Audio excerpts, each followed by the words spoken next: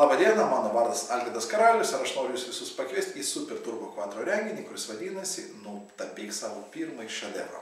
Jeigu jūs norite praleisti nuostabų vakarą a, ir norite namo atsinešti ypatingą paveikslą, kur tikrai bus negėda parodyti draugams ir kur galėsit pasikabinti pas ant sienos, tikrai ateikite šį renginį, išbandykite save kaip dailininką ir aš garantuoju, kad kiekviename iš jūsų tenais viduj miega labai geras dailininkas. Jį reikia tik tai pažadinti. Taigi iki susitikimo renginė, kuris vadinasi Nutapyk savo pirmąjį šedevrą. Iki.